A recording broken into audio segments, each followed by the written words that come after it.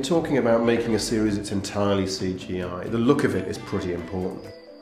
We don't want our world to look exactly the same as the world we're in now, just with dinosaurs in.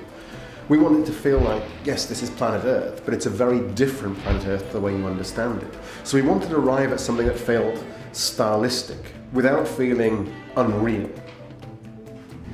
Absolutely everything we do has to be made from scratch. Nothing is there for free. You can't just, we're not just taking pictures and putting them together, we're generating everything. We had to decide, okay, what are the plans? What does it look like?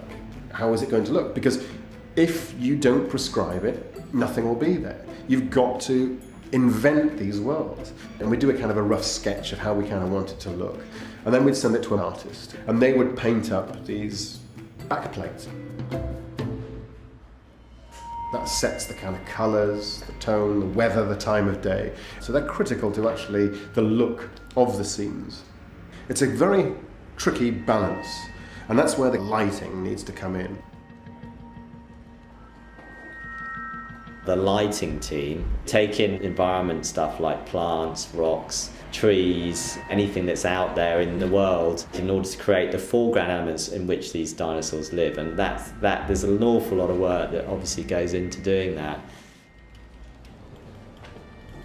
They then get passed on to the compositors, who are the people who take all the layers that are generated out of the, from the lighters. They then put in the backdrops, the matte paintings that have been created, and make everything sit together. So they're creating the atmosphere, they're finishing the shots. It's a very strange art of trying to understand what makes something work and what doesn't, but you just try to load the dice in your favour of all the cues, all the signals that you're sort of taking in when you're looking at this, feel consistent with a kind of how you understand the world. After the compositing, there's also then the layers of which make a lot of difference. The dust kick up from the dinosaur's foot the bits of blood, the water, the splashes, all those things then need to be added as well to make it feel more immersive and, and visceral and real.